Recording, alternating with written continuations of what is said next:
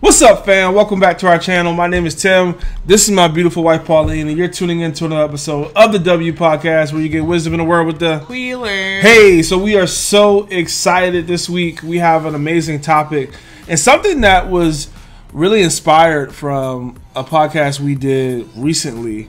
And I think it's a topic that needs to be touched on some more, and that's the whole concept of trusting God with your dating life. Hmm. Because it doesn't sound practical, but there are some practical things that we want to share with you in this video to help you be able to really walk with God in your dating life. Because at the end of the day, if you want to have a godly relationship, that means you don't want to have it without God by your side, I would assume. Right.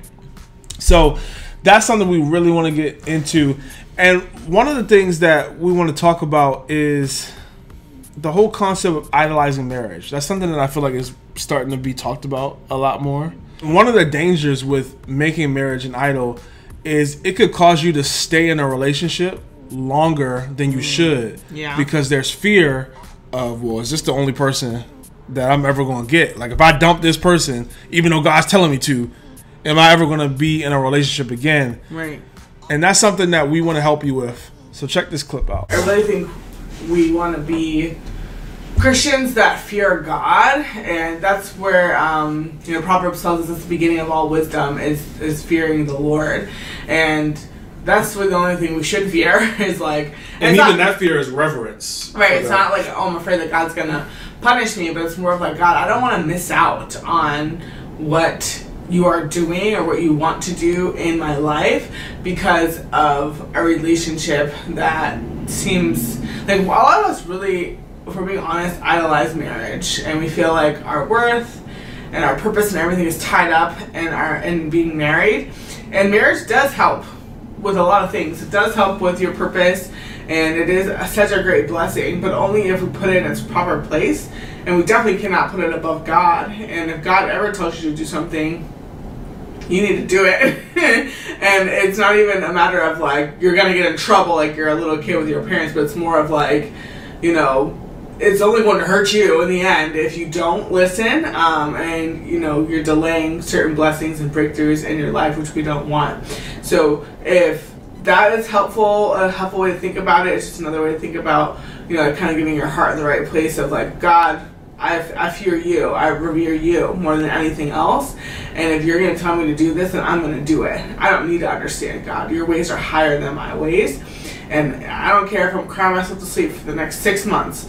This is what I'm gonna do, and I want to have my own peace, knowing that um, I didn't ignore your word, I didn't ignore what you told me to do, because you know some people say it like this that like whatever voices you listen to are the ones that you feed, and those are the ones that get louder. So if you want the Lord to continue to speak to you, you need to listen to Him. Um, not that He's gonna stop talking to you if you disobey, but it's gonna be harder for you to hear Him if you're just constantly listening to yourself um, or the enemy. I don't know. Um, but yeah, I think also if all those things maybe said were right about potentially what your current boyfriend may or may not be going through with his family and his own like kind of inner work he needs to do, you don't want to delay that. You know, if you really love him and you want the best for him, um, clearly, I mean, I think it is pretty obvious that any man. Um, that is above 20 and has been dating someone for seven years um, with no signs of marriage, no talk of marriage, has something going on um, that he does need to work on. And if he was going to get better with it, by with you by his side, he would have gotten better by now. So I think that you know you all probably aren't good for each other, even though you are looking at him as a good man. But what's a good man? I don't know. Um, you know, we're not really going to go into that whole definition and debate. But I think to start to look at the positive things that could come of you obeying God, um, and talk yourself into it until you do it. Um, and also tell a friend about what the Lord has told you. I know this is an anonymous you know survey or questionnaire that we take um, but you definitely need to tell your friends so that they can keep you accountable and make sure you are continuing to walk along the path that god has for you because if you keep this to yourself it's going to be easier and easier for you to ignore it and for you to disobey so that's a practical thing uh, we need you to do to be obedient Yeah, absolutely. So remember, if you're in this situation where God is asking you to give up something, or you're in a situation where you've been in a relationship for too long and you know that you should end it, but you're scared to end it, whether it's because you're 40 and you're not sure if you're going to date again or never get married, or you're just scared of losing someone who you feel like really knows you and trust and someone you can trust and you're never sure if you'll find somebody else who will trust you like that. We got to remember to put our trust in God. Yeah. And I just want to read this verse to close out. Proverbs 3 5 through 6. Trust in the Lord with all your heart. Do not depend on your own understanding. Seek his will in all you do, and he will show you which path to take. God is not going to leave you hanging. He's not going to leave you wondering what's going to happen next. He'll show you what path to take but first, you got to put your trust in Him and try not to lean, like the Bible said, on your own understanding and trying to figure out, well, if I do this, then what's going to happen here, or, or this will happen. You don't know what's going to happen. Just trust that God's got your back. He'll make your path straight. All right. We hope you enjoyed that clip. Remember, it is only our job to fear God, not to fear man, not to fear a situation, but to trust that He's going to help us, even if He's asking us to do something that's scary. Yeah. Now, this next clip, we're going to say something that most Christians won't. Mm. It's hard to keep God at the center of your relationship because your flesh always wants to do something opposite of God's sure. will and especially there's something about dating that brings that flesh out. Boy. there's something about dating that bring that flesh out. But you got to learn to submit that flesh to God, and we want to walk you through how do you keep God at the center of your relationship practically, yeah, even when that flesh is acting crazy. So check this out. It's not easy to keep God involved in your relationship, and for me, one of the reasons that wasn't it, I did it but one of the reasons it, I could see somebody having struggles with it is because one, you need to keep an open dialogue with God with every step. Yeah. So, God, should I go on this date? Should I go on another date? Yeah. Lord, we've been talking for two weeks. What do you think about this? Yeah, it, checking in with God on the pace is huge. Like one of one of the hardest things for me when we were dating was especially as we started getting further along and the like starts to turn into love but you're still just dating because we dated and were engaged for two and a half years. So you know depending on what you think that can be a long time. And it was tough because i would listen to sermons or listen to marriage seminars that are talking to dating people and be like this isn't your wife. Don't treat her like your wife you yeah. can't do this, you can't do that, and there's all these restrictions. And I respected them and agreed with them, but at the same time, there was something in me that just was annoyed at the fact that there was things that I couldn't do with this person that I loved, and it's interesting because in the sight of God, you're not married, obviously, mm-hmm. but it's tough when you're so used to calling this person my girl or my girlfriend, and there you have this feeling of ownership, attachment, yeah. attachment, but you really don't have any true attachment in the sight of God or any true ownership, for lack of a better word. And that's something that you have to wrestle with because you don't want that feeling to draw you to move too fast. Or on the other end, you don't want your feelings in a relationship to cause you to go too slow of maybe you're starting to feel things for somebody that you never felt before yeah, and that causes you to get scared and you're like hold on I don't know if I want to get married because I saw how my parents' marriage worked out, or I saw how my uncles worked out, or whatever it may be, or I never seen a marriage period. I don't know if I right. can do it. And then you start getting fear, and you want to be mindful of that. And that's why it's so good to be able to involve God in the process because, one, the Bible says, cast all your cares on Him because He cares. Like we serve a God who cares about every aspect of our life. So you can share your fears with him. You can share your desires to move faster. Like that happened a lot of times because as you all know, me and Pauline were well, I was in college. Pauline had just graduated when we started dating. And I was not in a place financially to be nobody's husband. So that caused our process to be longer than we would have liked. So I had to often rely on God talk to God. Like I feel like this woman wants me to propose, and I is can't. put pressure on you? You know. Oh, wow. Okay, that's cool. I don't want to say that you put pressure on me, but I felt pressure. Okay. and it could have been because you were putting some pressure, but I think a lot of it was because I was still young and learning how to communicate and lead and all of that, all of those things. So I felt the pressure, and also just learning you Mm-hmm. because you can be sometimes very like aggressive, Mm-hmm. but and I'm I mean this respectfully. Mm-hmm. Respectfully. Saying that always makes it feel, you know, so much better. I'm the sure. aggression that I feel isn't always necessarily how aggressive you really feel about a situation. And I know that doesn't really make sense, but it, Yeah, you said anyway. it does to me. Okay. Uh, but I think all of those things that will come in a relationship, those are all opportunities for you to take it to God. But then also, when I felt that pressure, I talked to my dad, I talked to my pastor, I talked to whoever would listen, and they were like, bruh, you need to graduate. You're not in a position. right, and they made you kind of feel better about the situation. Yeah, it made me feel better. Like, all right, I just got to handle my business, and eventually, when the timing is right, this will happen. Right. And I just had to calm myself down. mm-hmm. And that may be the case for some of you. You need to talk to somebody, no. whether you're scared or whether you're too excited. Because just because you have the money to get married in six months doesn't mean you should. Like you don't even really know this person yet. Like Yeah. there's more there's some more conversations that need to be had. Yeah. There's some more environments you need to see this person in. Yeah. Because you think just because you see them at church, you think you know them. No, no, no, no. I knew Pauline for over a year before we ever started talking or dating. And most of that was in a church setting. Mm-hmm. And there was one side of Pauline in church. And I'm not even talking ratchet, I'm just talking personality. There was one side of Pauline that I saw leader, mature, refined, Refined. dignified. Dignified. Wow. And then I had the opportunity to work a summer job with Pauline, where she was the lead manager at that job. Let's Yep. give her her props. Yep.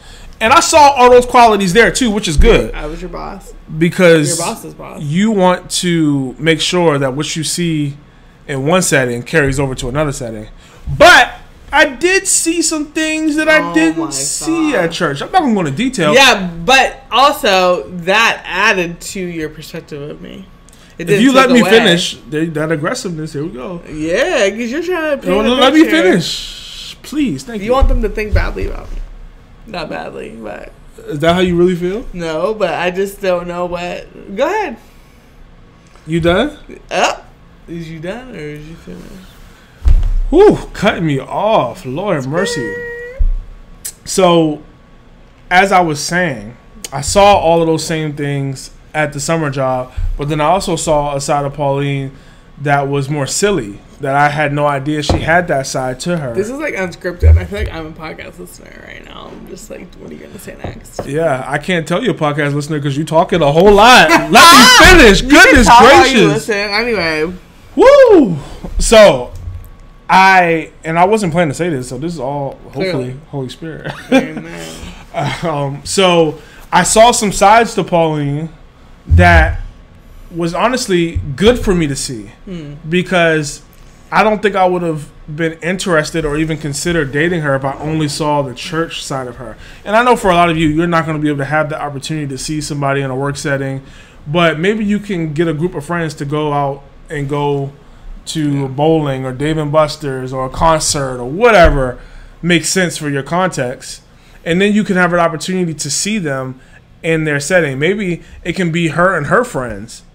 Mm. Like somehow you find because it's different bringing your girlfriend or your boyfriend into your friend group, and it's a whole nother thing seeing them in their friend You group need to do both. where they're comfortable, and you Yeah. really see, oh, that's how you like talk. meeting each other's family. Like they're you're gonna act different with their family versus how they're gonna act with your family. Are you good now? Because you was really interrupting. Are, are you? so, Do you feel? I deeply and sincerely apologize for interrupting. do you trust me? Do you? Do you think I'm just gonna air out your? You're right. bad I should know better. Six years in, I should have. I should have trusted more. This is what healthy conflict looks like. But this is me dealing with my. I'm working on releasing control. hopefully you can see. You know, the, how this is real live. We're not editing this out. It's okay to have conflict. It's okay to Was that conflict? A little bit. Oh, I was a little. I was annoyed a little bit. I'm not gonna hold you. Oh, I mean, But I still love you. love. I still like you too. All right, fam. We hope that clip encouraged you that you know it is possible to keep God at the center of your relationship, even when it's hard, because you know it's worth it at the end of the day. Kind of beginning with the end in mind is something that's really important that. with that. And the last clip we have is do you really believe that God is leading you down the best path for your love life? You've been single for 6, 7, 8, 9, 10, 11, 12. Do you really believe that God is ordering your steps? Because if you don't, it's going to be really hard to continue to have faith Yeah. and continue to believe and honestly just to trust God Yeah. It's going to be hard to trust God if you don't believe that He's ordering your steps, and that even if you're in a situation that you don't like, that God is actually for you and is still happy and pleased with where you are because He's orchestrating every move. Now, that sounds like super pie in the sky Christian stuff. Mm-hmm. It doesn't sound practical, but in this clip, we're going to break down what this looks like practically, how to live this out. Check it out that's something that you need to remember. Like as silly as that story is, like please don't forget that God is ordering your steps. And I, I know for some of you, you it's not a job that you're hoping to get or trying to make happen in your life, but it's probably you want to be in a dating relationship, and it can be frustrating because it's like, God, I went on a first date. God, we dated for six months. Like I thought that was the person that didn't work out, and I think it's easy to get frustrated, but we just have to remember that God is the one that's ordering our steps. He's the one that's working things out. So even the things that we thought were going to work out don't Right. they can. And also another thing we want to highlight is how you never know who God has in your life and how God will want to use them. Not just the fact that Pauline got me a job, but at that time we were not remotely close to being interested in each other romantically. As you can see, Pretty much a different person. I was still tripping on my ex. She saw me as someone below her, you know. bro. So there was no way we thought we'd be here helping other people learn how to date. But God knew the whole time, and God actually used that job Yes. for us to be able to see different sides of each other. Yes. That helped us be open to dating. And some of you may be discouraged right now because you're like, God, there's no options. There's nobody here. And God's looking at you like, you have no idea the person that you cool with is the person that I got for you. It's just not time. And I think that's hard because God sits outside of time Yeah. but we in time. So we're like, God, like it's been five years, six years, seven years. Why am I not in a relationship? And you just have to trust God. Yeah, absolutely. I love that. And yeah, that job went on. Like you said, we got to get to know each other better and seeing because we don't really know each other in church. So seeing each other in professional, more professional setting, you know, that's where actually Tim learned that I did have like a fun and silly side of me. I thought she was just, annoying. I thought she was just a very professional, like get this done, like I don't laugh type. Actually, I don't even know. yeah.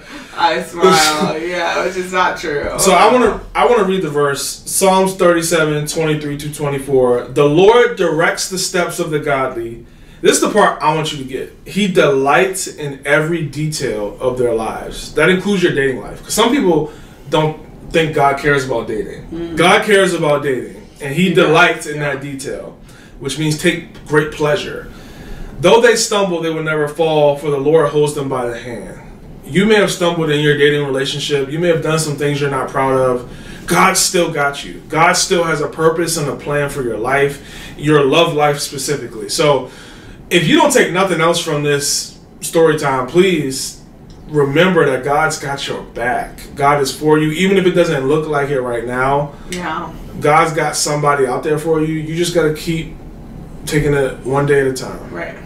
All right, y'all, that's it. We hope that these clips encouraged you and helped you feel like you have some practical keys to be able to go out and trust God in your dating life. Because at the end of the day, if we are not trusting the Lord with any area of our life, we're going to set ourselves up to potentially make some bad decisions because we're going to start to do things outside of our own timing.